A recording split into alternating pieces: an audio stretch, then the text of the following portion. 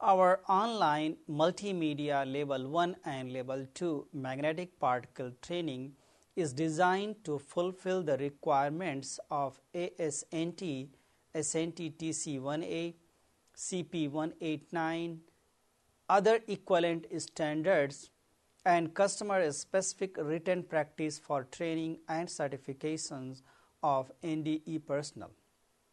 Upon successful completion of this course, you will get high level of confidence in general theory and application of this method. This course will give you 14 hours of credit for your certification in this method.